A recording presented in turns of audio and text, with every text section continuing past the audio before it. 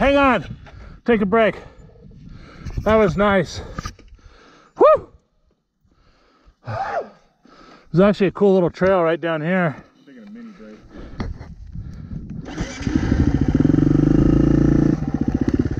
Taking a what? Mini break. Yeah, I just want to rest for a second. Turn that fan on though.